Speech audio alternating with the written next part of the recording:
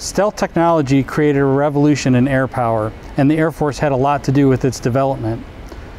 One way that the Air Force was involved is that the AFOSR, or the Air Force Office of Scientific Research, actually funded a scientist to do some work into stealth in the 1950s. And what's interesting is that scientist published his work, and that work was read by a Soviet engineer who then took the concept even further and developed it even further. That Soviet engineer published his work, and actually another American scientist who was funded by the AFOSR picked up his work and actually advanced it even more.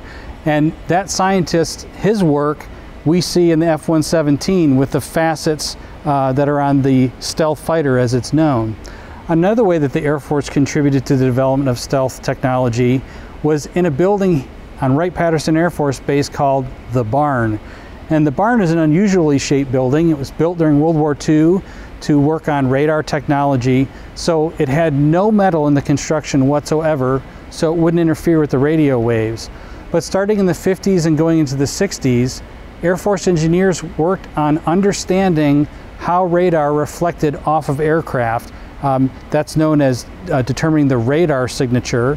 And they also worked on RAM coatings, radar absorbent material coatings, that would make the aircraft less visible on radar.